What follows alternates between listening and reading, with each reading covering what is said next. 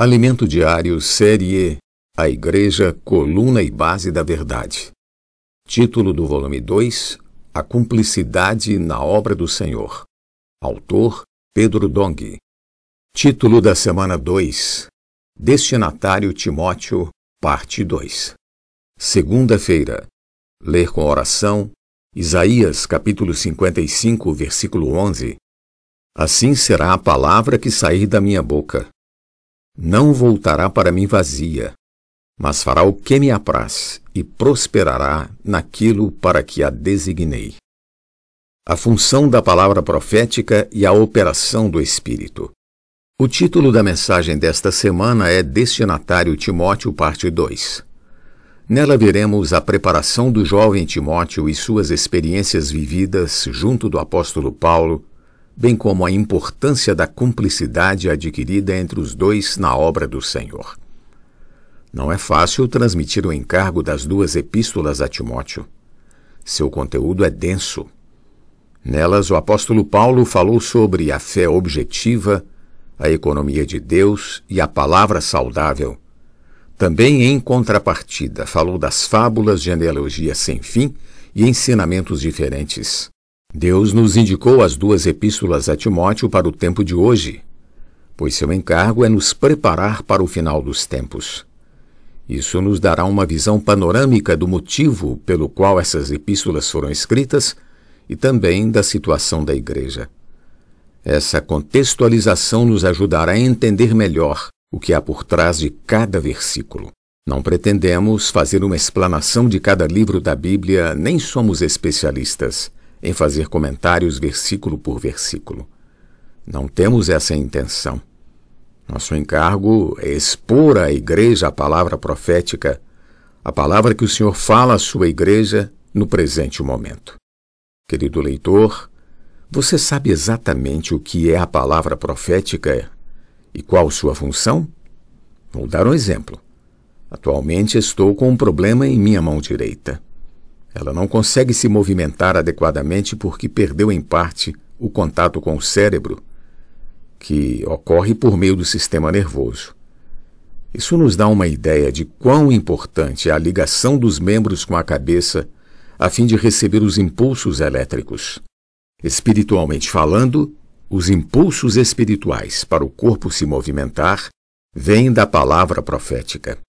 Quando Deus nos dá Sua palavra, não é meramente para aumentar nosso conhecimento bíblico, nem para que possamos entender e falar uma boa doutrina. A palavra profética é para Deus operar em favor da igreja. Quando meu corpo precisa de água, o cérebro envia um comando. A mão precisa entender que a cabeça quer que ela pegue o copo e leve a água até a boca para esta beber. Efetua-se então uma operação em benefício do corpo. Portanto, a palavra profética é para o operar de Deus hoje de acordo com Sua vontade. Essa, em suma, é a função da palavra profética, além de nos fundamentar nas Escrituras e nos trazer o pleno conhecimento da verdade. Outro ponto muito importante é a operação do Espírito Santo. Deus enviou seu Filho em carne para viver como um homem. Jesus foi obediente ao Pai até o fim, morrendo na cruz e realizando assim a redenção pelas pessoas. Aleluia! Cristo foi aprovado por Deus que confirmou isso ao ressuscitá-lo. O homem Jesus então foi gerado primogênito de Deus.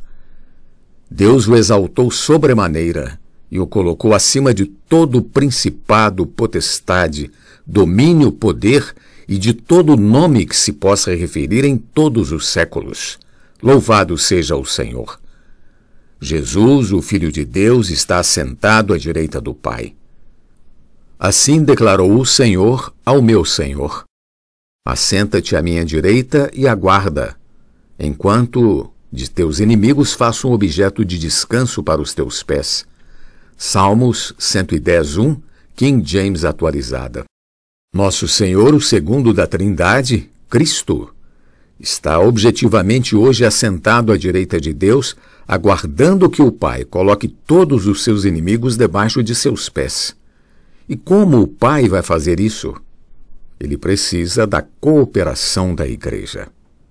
No entanto, a igreja sem o Espírito não é nada. Quando o Filho ascendeu à destra de Deus, o Espírito Santo foi enviado. Por isso, Jesus disse a seus discípulos que permanecessem em Jerusalém e aguardassem a promessa do Pai. Essa promessa seria o derramamento do Espírito, que aconteceu no dia de Pentecostes, quando o Espírito então desceu sobre os discípulos. Logo após sua ressurreição, Jesus apareceu aos discípulos, soprou sobre eles e disse-lhes: Recebei o Espírito Santo. João 20, 22.